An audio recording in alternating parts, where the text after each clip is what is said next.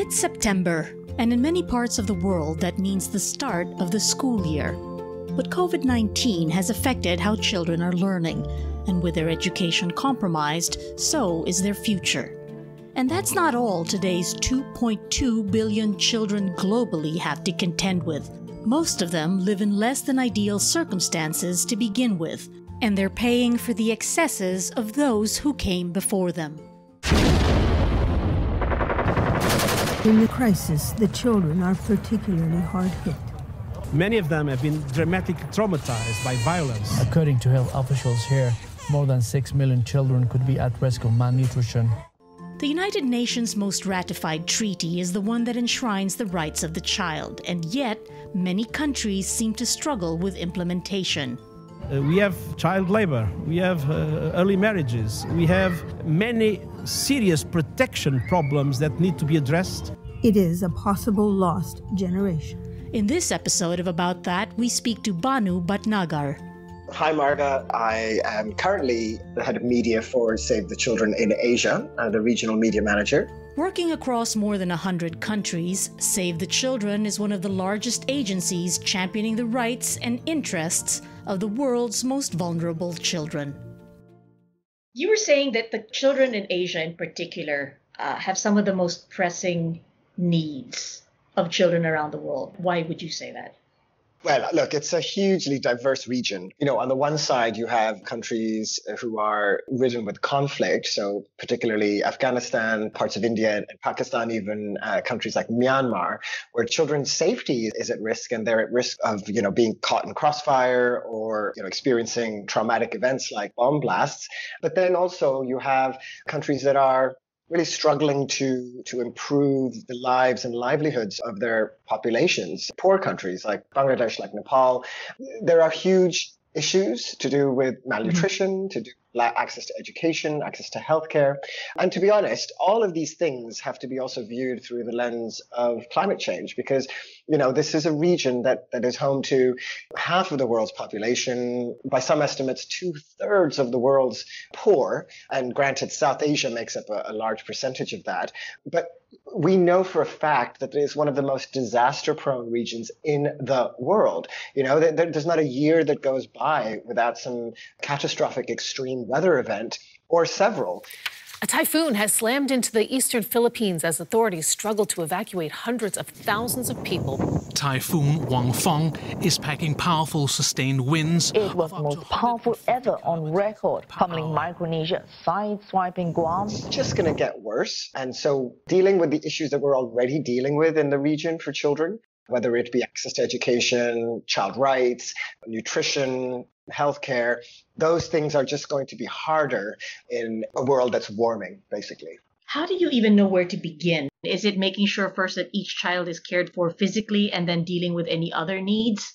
Yes, absolutely. We need to improve the lives of individual children. And that's where agencies like Save the Children and, and other organizations come in because we work at the community level and we work through partners on the ground, like local NGOs or local civil society organizations that have that trust uh, in the community because ultimately it's about creating behavior change at the community level but that doesn't mean that we let off our world leaders or the politicians scot free. I think it's also very important that we target governments, people who actually design policy, which then cascades or infiltrates down to the grassroots level. We go from bottom up and we also go from top down to ensure that uh, that children's rights are upheld. The rights of the child. Children should never be hurt in any way. All children should have houses to live in, places to play, and nice schools. We should be looked after especially when we get sick. And the most important thing is that we need to be safe and happy. What kind of response have you found from the governments that you're dealing with here? Has it been difficult to get them on board? I think it's always difficult when you're trying to address sort of structural issues. There are certain ways of working in countries that have been that way for years or even decades. And there's a certain kind of cultural norm or, or accepted practices that make it very difficult. I'll give you an example from, mm-hmm. from Afghanistan because, you know, we've been working very closely with our colleagues in that, in Afghanistan and the government in Afghanistan to, to help draft new legislation in that country, which basically gives the child uh, a certain rights, a child rights law, basically you would think that that's quite a normal or benign legislation, and, and many Western countries are sure to have that kind of legislation on their books. But Afghanistan is a, at a different stage in its development, and and you know, so we we work very closely with policymakers there to help draft that legislation to protect the rights of the child based on the UN Convention on the Rights of the Child. But the UN defines a child as anyone under 18 years old we were met with uh, sort of some difficulties in Afghanistan when when we approached the subject in that way because they don't necessarily define a child as being anyone younger than hmm. 18 years old. And this goes back to culture, or religion. A girl is seen as ready to marry once she menstruates, for example. Or, you know, it's a culture where children are often expected to help their families out with work. So let's say a mother or a father t- uh, gets ill. It would be perfectly normal for a 12 or 13 year old boy to go out and find work to help support his or her family. Now, the minute a child starts to work, again, from a cultural or social perspective, they're seen as not being a child anymore. So we have to deal with these kinds of very nuanced, very difficult issues. It's not just one size fits all. There is no easy solution, but ultimately we need to keep the child, the interests of the child at the center of any sort of policy intervention that we, that we engage in. Are child rights even present in, let's say, majority of the country across the Southeast Asian region or the Asian region? Again, it's so hard, you know, because Asia is such a large place. Let, let, let's take let's take one of the biggest countries in the region, India. We know for a fact that India has a sort of a secular constitution. It has certain statutes on the book that protect children, certainly protect girls.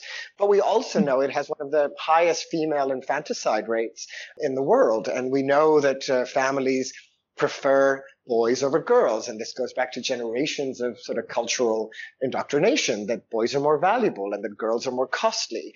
I have certainly seen changes in society over the last few years, certainly in India, but also in other parts of Asia, Southeast Asia as well.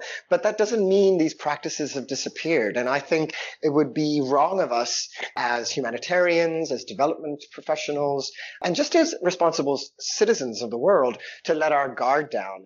I don't think it's in enough to just say, well, that's great. You know, we've reduced child mm-hmm. marriage by 20% or 30% or whatever the case might be. It's not enough until it's reduced by 100%. You know, it's not okay for uh, a, a, young girl to be forced into marriage uh, or to, you know, engage in sexual behavior when she doesn't feel ready for it. Again, you know full well mm-hmm. that the age of consent in the Philippines is is so low. I believe it's 12 years old, which is, I think, one of the lowest in the world. In fact, I think only one might be lower, and I think it might be somewhere in West Africa. But it's really quite crazy if you think about it. How can a 12 year old girl consent when we're talking about power structures, right? What is sex if not kind of a, a, a power game, you know, and uh, and at the best of times, even between adults. And so, how can a 12 year old girl consent to a man that might be twice her age? Clearly, there is a huge power imbalance in that relationship, which to me strikes it as odd that that would be consensual. We actually did that story for Al Jazeera. It was one of the first stories I believe we did when we set up the bureau here because it was mm-hmm. shocking that was the case. Many pedophiles use as a defense an old Spanish law introduced in 1887 that sets the age of consent at just 12 years old. Most Filipinos aren't even aware the law exists. It's not something that the legislators seemed in a hurry to change. Is that one of the bigger issues that the adults running the government and making the policies don't make children their priority? And if that's the case, then you're kind of hard pressed to then make them pay attention to climate change and do something about it. Just on your first point there, you're absolutely right. And again, this goes back to this notion of like, how do you start to change the structures, right? The, the, the decision making structures that in, in, the people who hold the power. You know, in the Philippines case, for example, legislators or policymakers won't make an about turn from a policy perspective unless there's a benefit to it. They're, they have to see the benefit to their own constituents. It's, it's at the end of the day, it's a, it's a voting game. And so once you start to change public opinion, and this is why it's so important that we engage with communities, that we engage with the media very importantly, that we start to tell the stories of children or the, or the stories of injustice that happen in our communities and that people become aware of those and that we also start to create champions like child champions right so you can have let's say i don't know it could be a could be a woman in her 20s who actually got married very young and who can then become a spokesperson and, and a champion for other girls and go to parliament and fight that case. And as you start to change public opinion I guarantee you the legislator will have to change his or her mind as well, because those people who are sitting in power have been placed there you know, give or take. But, you know, in most countries, they have been placed there unless it's a kingdom and autocratic system. Um, right. And they have been placed there by their constituents. But if their constituents suddenly say, you know what, the biggest issue for me is there's too much child marriage in my community and I've had enough of it, then that legislator will have to change their tune. So again, it goes back to this point about a bottom up approach as mm-hmm. well as targeting the people right at the top. And you were saying that you guys do a lot of work as well with climate change. Have yes. you found that children are more aware now of what's happening around them than they might have been maybe five, ten years ago? Oh, absolutely. Yes. I mean, you know, you, you, will know full well how pivotal climate change and children was in 2019 with all those protests that, that sort of swept the yes. world, led by Greta Thunberg. We are in the beginning of a mass extinction, and all you can talk about is money and fairy tales of eternal economic growth. How dare you! And uh, you know it created this wave of, of sort of child-led protests the friday walkouts from school. And i i think it's it's only right actually that children are starting to wake up to the mistakes of of past generations and rightfully calling out those mistakes and saying you know what? This this is not the world that i want to inherit I mean, a lot of critics would say, well, you know, they're kids and what do they know? Don't they know that, you know, the world is already investing into renewables and this and that? But the point is, that's how children feel. And it's important for us to listen, to listen to what they're, what they're saying. So you have to remember that, hmm. you know, children have contributed the least to global heating but are among the worst affected by it. And especially the most poor and vulnerable communities, you know, they're already feeling the impacts uh, of the climate crisis. For example, floods, you know, they threaten children's lives and development. They cause injuries and death by drowning. They contaminate water supplies and they leave schools damaged or turned into emergency shelters. And we're seeing increased extreme weather events as a direct result of climate change. And again, once again, the poorest and most marginalized uh, children will, will suffer the most. In Asia, for example, the lowest lying areas, the coastal areas are generally inhabited by the poorest people. We know for a fact that some of the Pacific islands would disappear entirely with just a one meter sea level rise. We also know that would essentially drown something like, mm, I think like 40 million people uh, in, in right. East Asia alone. So children have been saying for a long time that we need to do something. But unfortunately, coronavirus happened and sort of silenced everything, didn't it? You know, the global pandemic essentially just shifted everyone's attention. How then do you begin to work with the grown-ups in different parts of the world if they respond differently to the children in their societies? I mean, from what you've illustrated, different parts of the world treat their children differently? That's a really big question, Marga. Look, I'm going to refer back to the fact that Save the Children's founder, so Save the Children's about 100, 101 years old now. It was founded in 1919. And Save the Children's founder, Eglantine Jebb, essentially wrote the very first sort of the precursor, I guess you could call it, to the UN Convention on the Rights of the Child. So she wrote down a, a set of ultimate truths, I guess you could say, uh, or rights, inalienable rights that children have, and that then later became the UN Convention on the Rights of the Child. So that essentially is how we as an organization view children under the guise of, a, of, a, of, a, very sort of standardized set of definitions and rights uh, that are based on the UN. That said, it's not always easy to place that convention on people's desks and say, look, this is how you should view children because people see that as an infringement on their sovereignty. You know, people say that, well, who's the UN to tell me how to, yeah. how to behave in my backyard, right? And so mm-hmm. again, this goes back to the point of winning hearts and minds, showing how, you know, certain policies or certain ways of thinking or legislation actually works for the benefit, not just of the child, but of society as a whole. So for example, making communities understand why it's important that girls girls are educated and why it's important that actually if your girl goes to school, that means her children are likely to go to school and probably even go to university. If a girl goes to school, she's much more likely not to have 12 children, maybe only three children and be able to feed them all. It, it, it's about winning hearts and minds and that doesn't happen quickly. What do you think it is that is the resistance then? How is this so difficult for people to understand that you have to do something for the children? Oh gosh, I mean, I don't have, I don't sure I have an answer to that question. I think it goes back yeah. to to culture, and it goes, and I'm not, you know, I'm not dissing one culture over another at all. I'm just saying sometimes certain practices become so ingrained. Let's take my family. You know, I come from a, a quite an educated, middle class Indian family, and like I sometimes, you know, I talk to my grandma. Obviously, she's two generations above me, but she still talks about her daughters differently to how she talks about her son. And so she's right. clearly carrying that kind of paradigm or, or, or, in her mind where girls are considered weaker or they're considered, you know, like they need more protection than boys do, right. etc. It's a very, very kind of old fashioned way of thinking, right? And I guess if you asked your grandparents, they'd probably say the same thing. So I think this permeates through an entire nation as well. And so, you know, I don't think there's a, there's a simple answer. I think, like I said, you have to win hearts and minds one by one and make people understand that investing in children, addressing climate change, and listening to children, giving them a voice is actually going to benefit society in the end. I mean, you and I are going to be gone and the mm-hmm. children are the ones that will run this planet. What has been the most challenging part of trying to get the message across that children's rights are important, that climate change has to be paid attention to so that the future is assured?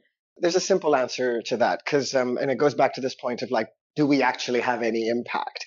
And I sometimes question myself, you know, because I'm working in countries that are, have been in conflict, like Afghanistan for 40 years. Think about it. Like every single child in that country has known nothing but conflict. They don't know any different.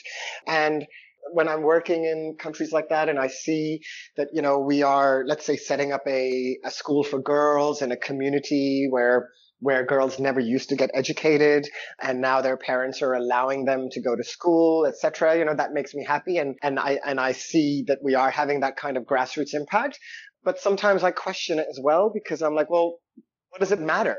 Because these girls will never go to university. They'll be married off as soon as they reach a certain age. And so, sure, the education was useful, but has anything actually changed in society? And that's a question I ask myself time and time again that like that's probably the hardest thing in answer to your question are we actually changing society are we actually helping to end conflict are we actually and helping to create policies that save our environment, that uh, ensure sustainability and equity and justice for everyone. And I think that is probably the hardest thing for me. But yeah, you just keep going. It's really important that we give kids the tools they need to actually influence their lives.